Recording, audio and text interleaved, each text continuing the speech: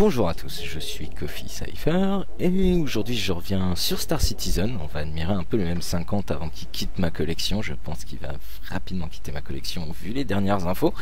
Et justement, je reviens pour vous parler euh, des dernières news de Star Citizen, notamment du line-up des constellations. Et j'ai un vieux glitch graphique. Ah, c'est moche. La réflexion est un peu foiré. Ah, pardon. Je, je, m'égare. Donc, on va parler du, de la série des constellations qui devrait bientôt arriver.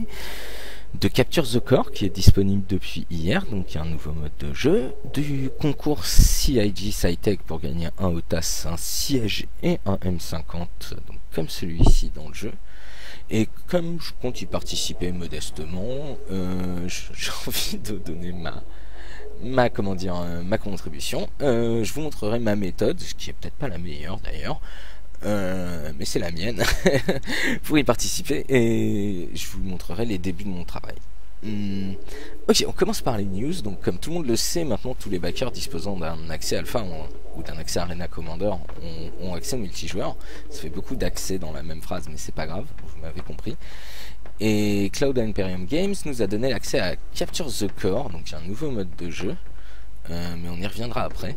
on y reviendra plus tard. Euh, à partir du 15 août, l'équipe sera à la Gamescom et je pense qu'on va avoir le droit à une jolie présentation et à quelque chose de nouveau. Euh, la surprise est bien gardée. Je pense qu'on verra soit les nouvelles variantes de constellation, soit les nouveaux hangars. Peut-être un peu des deux parce que les hangars, effectivement, vu ce qu'on a vu là du, hangar, euh, les images. Du hangar astéroïde, l'astéroïde hangar, ils appellent ça. Euh, ben, les hangars actuels sont vraiment plus haut niveau, et donc ils ont dit qu'ils feraient des nouveaux hangars, donc c'est très possible que ce soit ça. Euh, vous, vous pensez que ce sera quoi le, reveal? Est-ce que vous avez des idées sur, cette, euh, sur ce sujet? N'hésitez pas à les donner dans, dans les commentaires, on pourra en discuter. Euh, apparemment l'équipe veut qu'on commence à décorer nos hangars parce que tous les backers ready reçoivent 1000 EUC, donc les Future Trading Game, pour acheter via le Pledge. Donc c'est un deuxième magasin, il y a deux magasins en fait sur leur site. Euh, soit donc il y a un poster pour son hangar, mais vous pouvez aussi euh, dépenser vos crédits gratuits dans d'autres décorations ou des armes pour votre vaisseau, mais il faut rajouter des crédits pour compléter. Euh, il y a deux nouveaux posters qui ont fait leur apparition, donc un sur la Moray Cup et un sur les futures variantes de constellation qui va nous servir un peu après. J'hésite encore, mais je dépenserai peut-être mes 1000 crédits gratuits pour celui de la Moray Cup et comment dire, s'ils se font un vrai genre, je dépenserais bien euh, des vrais sous pour un vrai poster de constellation pour le mettre à côté de mon PC. Je trouverais ça sympa. Euh, donc voilà, donc du poster en hangar, moi je pense qu'il n'y a qu'un pas et on devrait très vite avoir du nouveau sur les variantes de constellation. Étant un amateur du Connie, comme vous le savez peut-être, j'avais un constellation dans mon, dans mon hangar. Là je l'ai je l'ai euh, troqué contre le M50 et un Ghost euh, pour, euh, pour voir un peu, le 315p étant mon vaisseau sur lequel j'ai la clé alpha. donc ouais, je suis un grand fan du Constellation, donc je pense que tout ça va disparaître et on aura sûrement de retour aux Constellations ou une variante d'ici bientôt. D'ici peu d'ailleurs on dit. Euh, donc voilà, euh, je suis un grand fan des Connie et là le, poster il nous donne euh, pas mal d'infos sur les nouvelles, enfin quelques indications, il nous donne déjà le nom, il y a quatre variantes, Taurus, Andromeda, Aquila et Phoenix. commençons par Taurus ou la constellation du taureau qui fait référence à la forme bovine que Zeus adopta pour le rap d'Europe. Je suppose que ce sera une variante accès de transport, je trouve que le fuselage du Taurus est plus large que les autres et euh, j'avais vu des images d'un cargo que je réussis pas à retrouver sur les forums, de l'espace arrière du, Constellation, mais euh, renforcé pour le cargo, enfin, pas renforcé, ragrandi pour le cargo. Euh, Andromeda ou Andromède, qui est la fille du roi Céphée et, et qui a pas servi, enfin, qui a pas fait, fait alors elle s'est fait, enfin, elle s'est fait attacher pour être mangée par un monstre marin parce que sa mère, même pas à cause de sa faute, c'est horrible parce que sa mère a dit qu'elle était plus belle que la fille de je sais plus qui. Enfin bon, j'ai un doute, ma mythologie grecque est pas au top. Et à part s'être fait sauver par un, par un héros et l'avoir épousé, après elle a pas fait grand chose. Et enfin, je vois pas du tout l'image, elle, elle aide pas un peu, un peu à s'imaginer à quoi ça va servir comme variante. J'imaginerais bien une variante avec les chaînes, un peu comme dans les Chevaliers du Zodiaque, si vous vous souvenez, Andromède. Mais je pense pas que ce sera ça. J'ai des doutes sur la réalisation. Euh, ensuite, il y a Akina, ou la constellation de l'aigle, qui fait référence à l'aigle du Caucase, qui chaque jour grignote le foie de Prométhée. Euh, et ça, en fait, je pense que ça va être la variante militaire lourde, parce qu'entre le nom, la référence et le cockpit modifié, puis le petit logo à l'arrière, euh, le cockpit qui a l'air beaucoup plus solide que la version de série, tout en offrant une bonne perception latérale, je pense qu'on voit mieux que dans la version de série aussi sur les côtés. Juste les deux petits trucs à l'arrière. Euh, et du coup, je pense que c'est ouais, la version. Enfin, je suis quasi sûr que c'est une version, une version militarisée. Euh, la dernière, c'est la constellation du Phénix, qui fait référence au célèbre oiseau mythique qui pourrait renaître de ses cendres. Et je suis sûr que vous connaissez tous euh, la, la légende. Euh, et donc celle-ci, je suis sûr que c'est la variante de luxe dont on a vu des brèves images auparavant. la présence de la verrière de toit coïncide et la peinture un peu flashy est tout à fait dans l'idée. Et donc voici, enfin, c'était mon avis sur les constellations, sur les futures variantes de constellations. Si vous avez d'autres idées, n'hésitez pas à les partager. Si vous pensez que je me trompe, j'aimerais bien savoir vos avis euh, sur, les, sur ce que vont être les différentes euh, variantes. Et voilà, on va passer au sans transition, comme dirait PPD dans les guignols. Et sans transition, euh, on va passer au, au nouveau mode Capture the Core qui est disponible depuis hier, qui est une version euh, maison de Capture the Flag. C'est les mêmes règles. Vous devez ramener le drapeau, euh, enfin le corps, pardon, le noyau au, à votre noyau. Et enfin, c'est un petit jeu d'équipe. Ça peut être assez sympa. J'attends vraiment qu'on puisse faire des des matchs avec nos amis pour pouvoir jouer à ça parce que là ça va être marrant quand on va être en train de voler à 4 contre 4 euh, que ça va être organisé qu'il y aura deux qui gars qui vont garder le drapeau, deux autres qui vont qui vont attaquer euh, sur le drapeau des méchants. Et ouais, j'ai vraiment hâte de pouvoir y jouer avec les copains. Euh, j'ai pu être euh, tout seul sur un serveur, donc on, admire un peu le drapeau en question. Le prendre donne, je crois, c'est 100 points et le déposer en donne 500. Ce qui est une bonne façon de faire des points, alors que je perds malencontreusement le contrôle du, du 300i euh, en essayant de faire euh, quelque chose de super simple. Comment c'est embarrassant. Euh, donc le mode de jeu donne pour un gameplay assez intéressant, assez dynamique, vous les 300.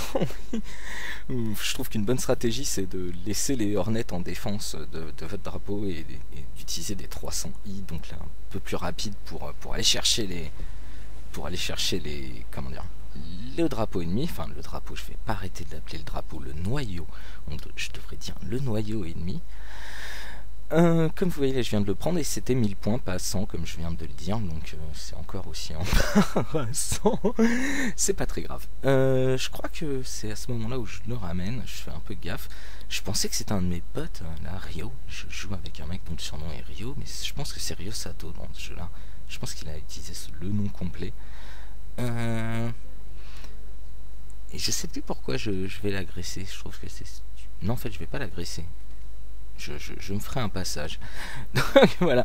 Enfin bon, le gameplay est assez rapide, assez intéressant. J'ai fait deux trois parties qui ont duré en, général une petite dizaine de minutes. Euh, c'est en général très d'un côté en fait, soit votre équipe fonctionne et, c'est bien, soit euh, ça, ça fonctionne pas et vous êtes contre une équipe qui fonctionne comme de par hasard et on se fait violer. Euh, je pense que ça va se régler euh, facilement quand, on pourra faire des matchs privés euh, et jouer entre nous 4 contre 4. Ça, ça, devrait pouvoir être vraiment un mode sympa pour le compétitif, notamment. Personnellement, c'est vraiment le mode de jeu que j'aime bien, qui force un peu le, travail en équipe, même avec des inconnus. là, sur cette partie, j'avais vu que, que, deux, que deux joueurs campaient notre notre spawn, enfin notre noyau pour le défendre. Donc j'ai pu agresser un peu, faire du, faire du dommage au passage et, aider à, comment dire, à ramener des drapeaux. Euh, c'est la partie qui s'est bien passée, les deux autres se sont beaucoup moins bien passés, donc je vous montre celle-ci. je vais pas me tirer une patte dans le pied et montrer euh, un truc où je meurs en bouche, où je me prends des astéroïdes. je fais vraiment pitié. Euh, donc voilà, voilà, c'est tout. donc si vous avez pu essayer, dites-moi ce que vous en pensez dans le dans le comment dire dans les commentaires. Pareil sur un peu sur le multiplayer, j'ai dit que je ferais une vidéo mais j'ai pas encore eu le temps de bien écrire mes pensées, de faire quelque chose d'un peu plus propre que ce que je fais d'habitude. Euh, j'ai un peu de rubber bending, euh, quelques petits soucis, euh, quelques crashs, mais rien de vraiment méchant, ça. Enfin, pour une pré-alpha, pour quelque chose qui est, qui est loin d'être encore sorti. je trouve qu'il y a certains jeux qui font pire au lancement. On peut penser à certains lancements, je sais pas. Battlefield 4 par exemple, euh, Diablo 3 je pense le lancement était un peu euh, erratique, euh, c'était un peu le bazar aussi il me semble. Mais enfin bon là on n'est pas encore au lancement et déjà le jeu marche plutôt pas mal, ce, qui, ce qui est super. Et je vais arrêter là sur le Capture the Core. Et on va passer sur le concours du M50 enfin, le concours euh, SciTech euh, Star Citizen qui donc SciTech mais un Rhino X55 euh, donc un, joli setup au TAS aux alentours de 200 euros une chaise enfin un siège de simulateur aux alentours de 400 je crois 400 et des bananes euros qui vous permet d'installer très bien votre TAS comme vous voulez de manière modulaire ainsi qu'un M50 donc nous avons déjà vu euh, donc euh, un petit vaisseau euh, pour, pour, faire ça du un, joli package. C'est vraiment un joli package. Et donc le, concours, il, faut juste colorier, enfin juste. C'est un grand mot, moi j'en chie un peu quoi. Faut juste colorier ces, images et poster sur un forum, donc sur le forum du de Star Cities, de robertspaceindustries.com faut poster votre œuvre d'art. Il y a déjà des jolies, euh, des jolies œuvres d'art euh, réalisées. Il y a vraiment de super artistes, euh, enfin des, gens bien meilleurs que moi.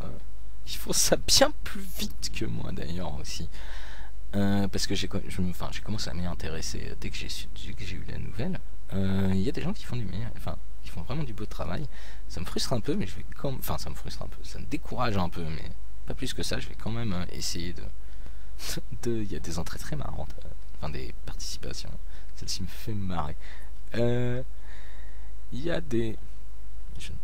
Oui, enfin bon. Euh, je vais vous montrer donc moi ce que je fais. Je le fais avec Inkscape. Apparemment, dans les forums, ce que, ce que, tout le monde dit, c'est The Gimp c'est plus facile. Hop là, donc j'ai préparé un peu mon, mon, fichier. Donc hop là, pour le préparer, vous, vous prenez votre, votre dossier où vous avez vos images. Hop là, sur cet écran. Hop, vous prenez une image et vous, mettez là. Hop. Moi, je préfère embed parce que ça me permet de supprimer les images avec lesquelles c'est fait. Les garder uniquement dans le fichier. Link, il faut que vous gardiez des images dans le même dossier. Hop, et voilà, vous avez le votre image dedans.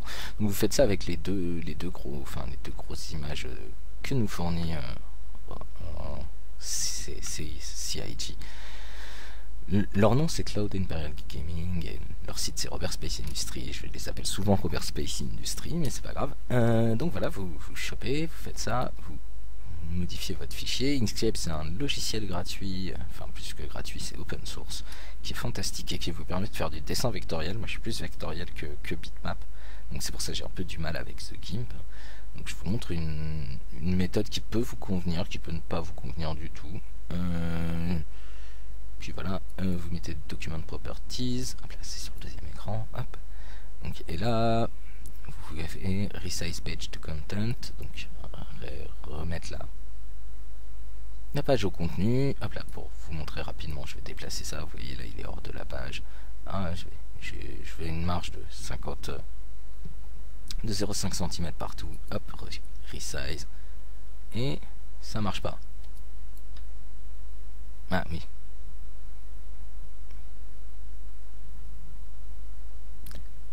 ça marche, mais sauf que en fait il faut tout sélectionner. Voilà, je, suis teubé, il faut tout sélectionner.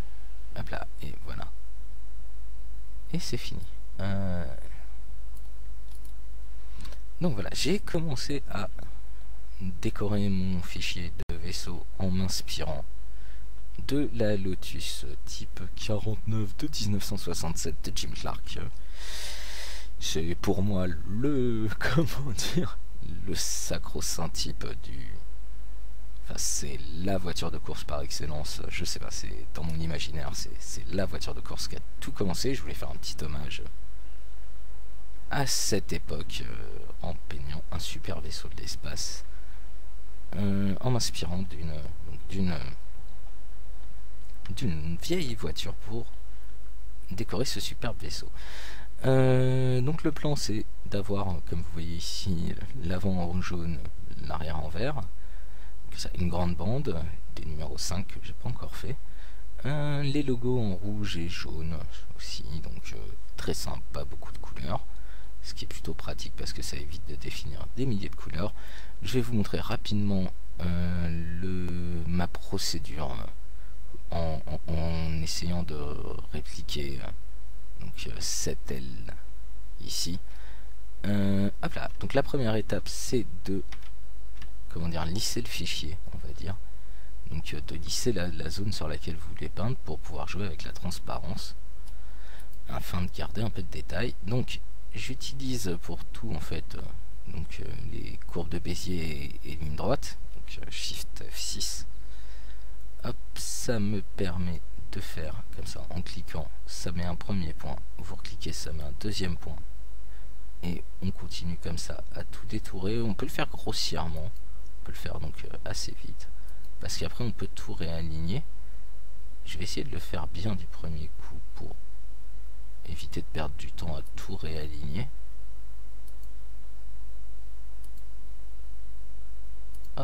Euh, là. Donc euh, ouais, je vais quand même avoir à réaligner. Hop, cela je prends. Donc pour ma couleur, je veux que ce soit à peu près celle-ci. Je vais chercher la petite pipette F7 sinon. Et hop là, je clique là, j'ai à peu près la même couleur. Je vais enlever là.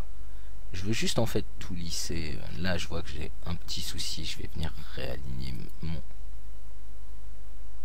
mon grossièrement ma, mon point. Hop, voilà. Après cette zone-là, en fait, je vais mettre une transparence pour pouvoir garder un peu ces petits détails-là, donc les petits autocollants, pour garder un peu le niveau de détail du fichier qu'on nous a donné. Euh, donc, même méthode. Même méthode. Hop là. Hop là. Définis ces points, ce côté-là facile. Hop. On va chercher là, ça, et on va jouer en revanche cette fois-ci sur les différents niveaux de gris et l'opacité. Que je peux vraiment garder du détail jusqu'à avoir quelque chose d'assez homogène sur cette distance-là? Comme ça, c'est parfait.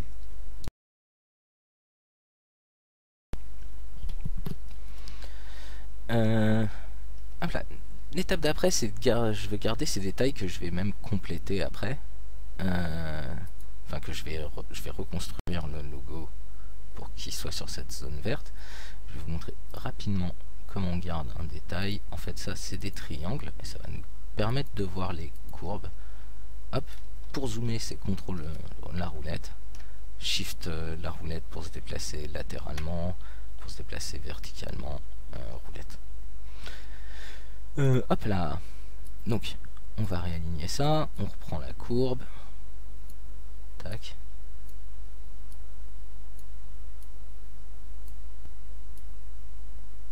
Hop là.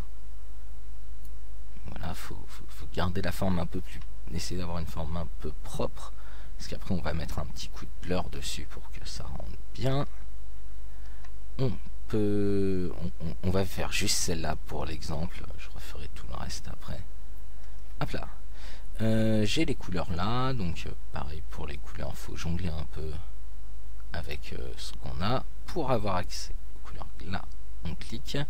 Si, vous n'avez pas cette fenêtre, donc euh, Shift Ctrl F ou clic droit sur un, sur un élément et Fill and Stroke. Euh, hop là, donc là on a les différentes, on voit qu'on a un blur de 1-1, donc c'est je mets un petit flou en fait pour, euh, pour essayer de, rendre le truc un peu moins net et, et me rapprocher un peu du style un peu photographique qu'ils ont sur, le, sur cette photo, sur cette image, pardon. Un petit coup de transparence parce que j'aime pas les, gros aplats. Euh, j'aime bien avoir toujours un peu de transparence sur ce genre d'idée. Aplat et ça, stroke. J'ai une stroke, oui, qui est toujours blurry. Et c'est cette couleur là que je voulais récupérer. Hop là, CTRL C. Hop là. CTRL V. 1.1 et 96 ici. Hop là, voilà. Voilà là. On voit que ça donne à peu près peut-être rajouter hop là ça ça et voilà comme ça j'aime bien 1.7 hop là pour après en fait l'idée c'est que vous faites ça pour tous les points que vous voulez garder et après vous mettez grand vous faites votre fond de couleur. Donc là ça va être du vert. Donc si on est même précis c'est British Racing Green. Vert de la course anglaise. Hop là on fait toujours nos formes. On va voir euh, rapidement les les propriétés de l'autre engin là. Là, pour voir. Donc j'ai 80% et la couleur c'est ça. là, on sélectionne. Là c'est un peu parfois un peu coton à sélectionner. Faut vraiment prendre le bout de la, la souris. Hop là. Et voilà.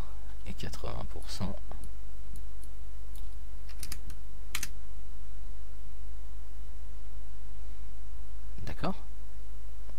Je me suis planté. voilà. Si vous voulez... C'est dingue, il me paraît beaucoup plus clair. Non Non Il me paraît plus clair que cette partie-là. En fait. Je vais peut-être devoir réaligner le... Ah peut-être mes, mes layers en dessous. Enfin bon, c'est pas grave, c'était juste pour vous montrer. Et là, une fois que vous avez, vous voyez, c'est pas bon, les couleurs sont pas dans le bon ordre, mais vous pouvez. Je sais plus comment on fait d'ailleurs, je crois que c'est. Là, je redéplace. Après, vous, je vous ai montré comment bien faire. Et voilà, c'est page down. Euh, page bar et page haut pour, pour faire monter ou descendre l'élément. Voilà, voilà. Je pense que en connaissant ces petites euh, choses euh, et avec un peu d'imagination, vous pouvez arriver à faire votre votre propre votre propre parfum, votre propre M50, votre propre peinture du M50 et ainsi participer à ce concours et qui sait peut-être gagner. J'espère que ça vous aura aidé. Je vais vous laisser là pour aujourd'hui. Euh, en attendant la prochaine, je vous souhaite un bon vol et à bientôt